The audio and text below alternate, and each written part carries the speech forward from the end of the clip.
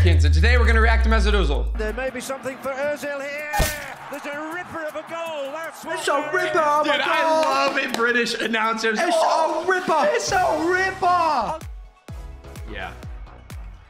is Sagna, and he's brilliant. He's De Bruyne can never make that pass. Barry Sagna. It's just not happening. Listen, there's one thing we Look won't at do this. here. De Bruyne could never. There's one thing we Look will at not him. do here, and that's criticize Man City, especially KDB. I'm like, what do you say f me for? To his path, Iwobi back towards Wilshere, all the way through for Alexis. Blocked by a Newcastle defender, still not clear.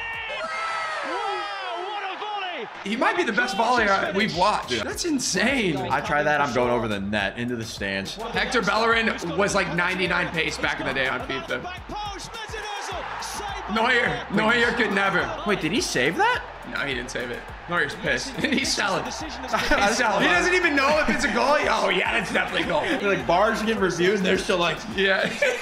Oh, look at the space. Uh-huh. Oh yeah. Oh.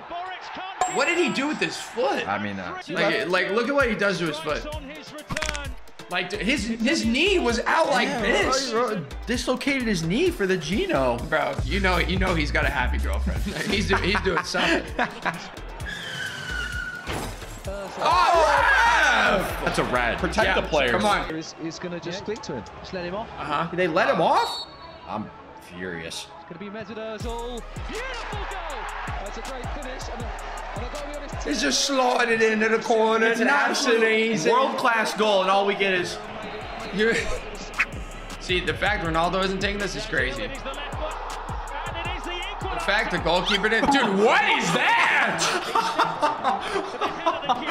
that is disgusting, dude. That is like that's like the most disrespectful free kick I've ever seen. He doesn't even. He runs for it. Dive. Bro's about to run into the post. If he would have ran into the post, would. This would be like a top three soccer clip of all time.